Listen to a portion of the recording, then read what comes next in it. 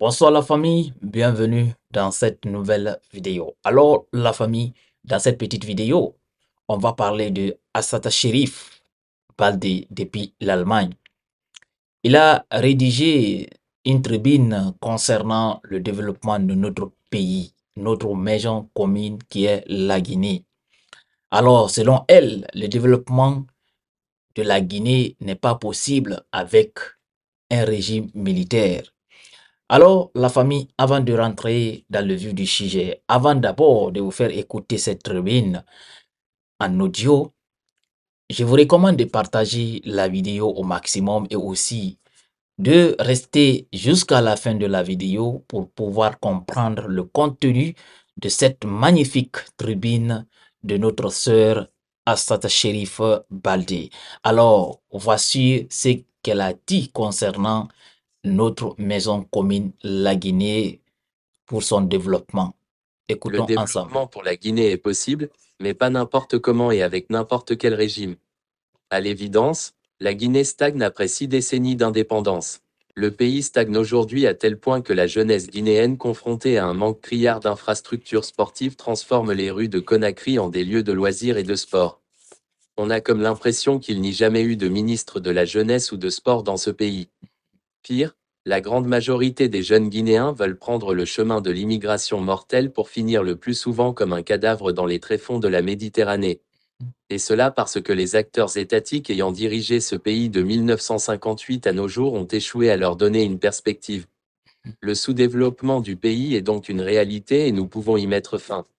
Un développement impossible avec ce régime militaire. Ce développement ne viendra pas avec ce régime militaire france-africain qui n'a pas compris que gouverner c'est prévoir.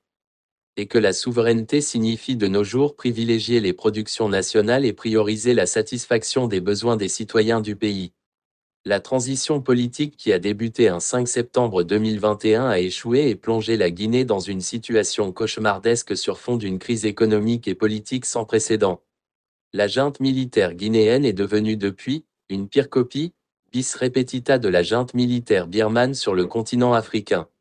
Censure drastique des médias privés et des réseaux sociaux, restriction de l'accès à Internet, emprisonnement et disparition forcée des opposants politiques sans motif valable, une allergie démesurée aux critiques atteste ses parallèles avec le régime militaire birman.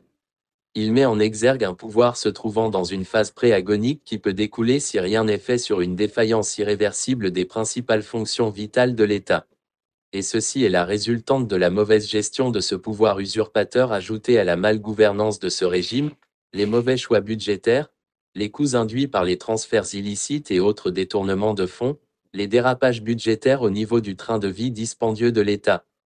Les exonérations minières à une hauteur estimée à près de 29,4% la non-exécution du budget alloué à certains secteurs et qui, à ce jour, font que la plupart des projets sont inachevés au niveau énergétique, routier, aéroportuaire et portuaire. Et c'est pourquoi le mensonge est devenu une seconde nature du pouvoir militaire actuel dans l'art de gouverner. Le mensonge politique est de plus en plus une arme de gouvernance au service de cette minorité au pouvoir en Guinée. Or aucun pays ne peut se développer dans le mensonge. Mais quel genre de développement avons-nous besoin? En tout cas, pas un développement fondé sur la croissance à la solde d'une économie néolibérale. Car pour évaluer la croissance elle-même, on ne peut passer sous silence des facteurs tels que le niveau d'éducation de la population, la qualification de la main-d'œuvre, l'organisation du système productif, la réduction des goulets d'étranglement et, surtout, la qualité de l'action gouvernementale, la gouvernance. Et le développement d'un pays n'est surtout pas une question de communication démagogique, de promesses fallacieuses, de propagande digne d'un régime communiste, avec une manipulation insidieuse que l'on observe aujourd'hui avec la junte militaire guinéenne.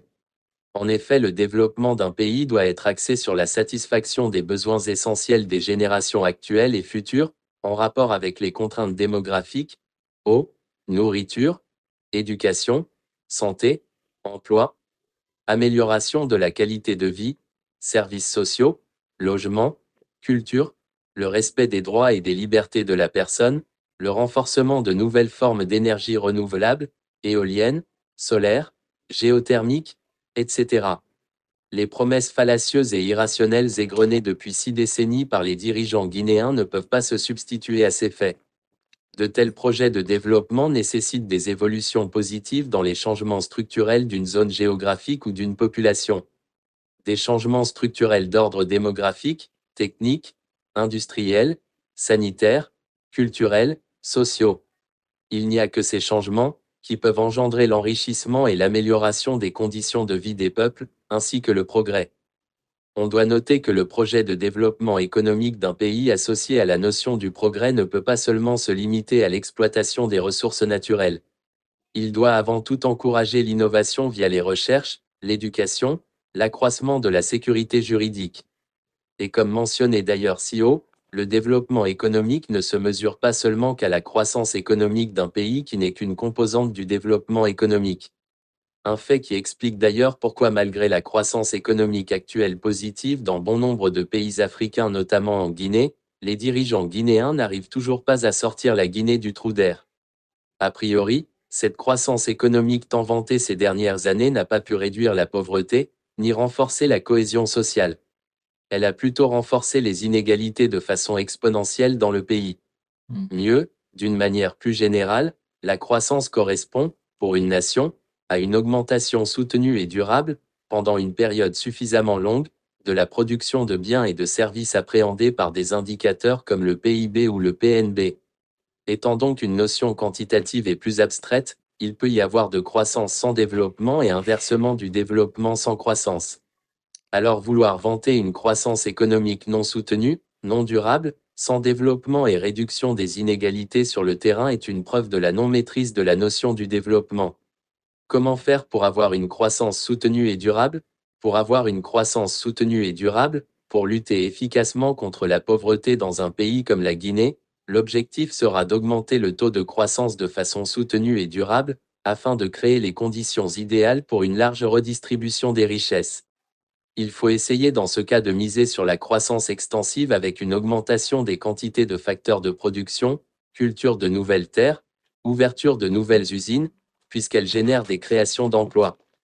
Mettre surtout tout en œuvre pour que la croissance soit à la portée de l'économie nationale en donnant la priorité à la réhabilitation et au renforcement des capacités dans le secteur privé national, l'agriculture, l'énergie et l'industrie ce qui signifie qu'il va falloir commencer par accorder une place de choix à la promotion des PME et TPE à travers le développement d'un partenariat gagnant et inclusif avec le secteur privé national. Mhm. En effet, les PME-PMI représentent un levier important dans le développement économique de notre pays. Mhm. Malgré ses potentialités, ce segment d'entreprise reste confronté à des difficultés d'accès au financement, au marché, à l'investissement et aux débouchés commerciaux en Guinée. Et comment y pallier? Il faut commencer par faire des PME de véritables moteurs de la croissance, en apportant un appui affirmé aux opérateurs économiques nationaux à travers une concertation permanente et un dialogue proactif avec le patronat, une assistance aux PME-PMI dans les efforts de renforcement de leurs capacités managériales et technologiques, la mise sur pied d'un réseau organisé de PME-PMI pour promouvoir les clusters et des champions nationaux à l'instar des économies émergentes, la participation des PME-PMI dans les secteurs stratégiques et les grands projets structurants. L'application effective du principe de la préférence aux PME nationales par un pourcentage à déterminer pour les marchés publics à l'instar des pratiques internationales en la matière. La levée des contraintes est nécessaire. Mais il faut aussi surtout parvenir à lever les contraintes qui entravent le développement du secteur agricole, difficulté d'accès à l'eau, à la terre et au financement pour instaurer une véritable agriculture moderne et inclusive, reposant sur une véritable réforme foncière en mettant les intérêts et besoins des populations rurales au cœur de celle-ci. Le développement de la mécanisation et de l'irrigation agricole. La fourniture d'intrants agricoles en quantité et en qualité à des prix accessibles.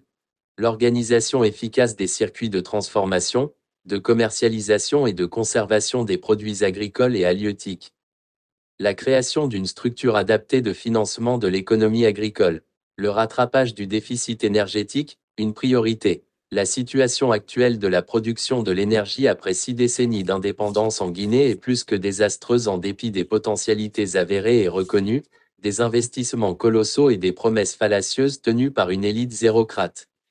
Or, il est impératif de faire le rattrapage du déficit énergétique une priorité en vue d'augmenter les capacités de production de notre économie à travers L'accroissement de la production d'électricité en s'appuyant en priorité sur la valorisation du potentiel hydroélectrique. La valorisation des énergies alternatives telles que les biomasses, l'énergie solaire. L'extension et la modernisation des installations et équipements de transport et de distribution. Le secteur industriel quasi inexistant. Quant au secteur industriel guinéen, il est caractérisé par une conjonction de difficultés conduisant souvent à une cascade de fermetures d'entreprises. Et il s'y ajoute une production insuffisamment compétitive, une faiblesse dans le système de promotion et de l'innovation technologique et le coût élevé des facteurs de production, notamment l'énergie. Mm. Là aussi, il y a lieu de proposer une politique industrielle de développement qui repose entre autres sur. Une politique de relance des activités industrielles dans des conditions assurant une plus grande compétitivité et la possibilité de reconquérir des marchés extérieurs. Le renouvellement des outils et parcs industriels. Le développement des services financiers de qualité capables de mobiliser les ressources financières nécessaires pour accroître la demande de capitaux d'investissement dans ce secteur en particulier. Le développement de la Guinée est possible pour celui qui le veut et le désire sans démagogie, sans manipulation et promesses irrationnelles et fallacieuses. À condition d'avoir une élite guinéenne compétente, patriote avec de réelles ambitions. C'est-à-dire une élite capable de réorienter notre modèle de développement vers la construction d'une société démocratique et d'une économie, à la fois productive et inclusive, où chaque Guinéen disposera d'un accès à la richesse et à son bien-être. Mais pour le moment, nous en sommes dépourvus, car pour ceux qui tiennent les rênes du pays, le sort de la Guinée dépendrait des autres, c'est-à-dire les interventions économiques, financières qu'ils dilapident sans cesse. Aucune volonté politique, aucune vision permettant au peuple d'assurer la plénitude de son destin et de sa dignité ne sont envisagées. La Guinée doit rester une sorte de cul-de-sac, de terminus de voie de garage où aucun espoir de mobilité ascendante n'est permis. Le sous-développement de la Guinée les arrange, car ils sont les seuls avec leurs familles et proches qui en tirent profit. Et ce petit groupe de privilégiés politiques, de kleptocrates, médiocres qui, jusqu'à ce jour n'a pas pu élaborer un projet de société clairement compris par la population guinéenne au sens large du terme, n'est pas prêt à partir. Voilà un peu, vous avez écouté euh, cette tribune vraiment magnifique euh, de notre sœur Achat Sherif Baldé. Vraiment, euh, elle est complète. Oui, elle est complète. Euh, elle décrive un peu, euh, au fait, euh, les mots qui mettent en retard notre pays.